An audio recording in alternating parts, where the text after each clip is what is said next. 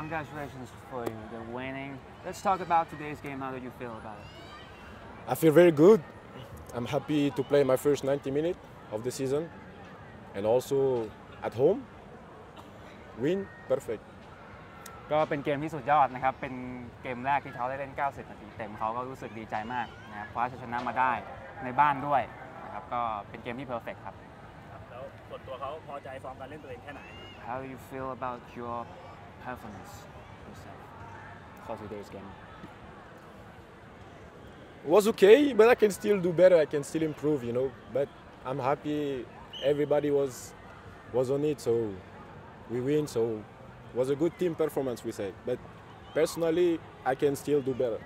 ก็ส่วนตัวเขาขอบอกว่าเขาสามารถทำได้ดีกว่านี้แน่นอนนะครับ วันนี้ถือว่าโอเคแล้ว แต่เขาเชื่อมั่นในตัวเองว่าทำได้ดีกว่านี้แน่นอน แล้วก็ โดยรวมแล้ววันนี้เพื่อนร่วมทีมทำได้ดี แล้วก็คว้าชัยชนะมาได้ก็ถือว่าเป็นอะไรที่วิเศษแล้วครับครับ สุดท้ายฝากถึงแฟนบอลที่มาเชียร์วันนี้หน่อยครับ Let's say something for the fans Thank you very much for supporting us every game. Keep supporting us, and I hope from now we're gonna win every game. And let's go, let's go, let's go, BG. โอเคครับก็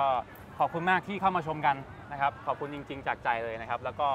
ขอสัญญาว่าหลังจากนี้จะคว้าชัยชนะมาทุกๆเกมเลยครับ Let's go BG ครับผม ครับ ครับครับ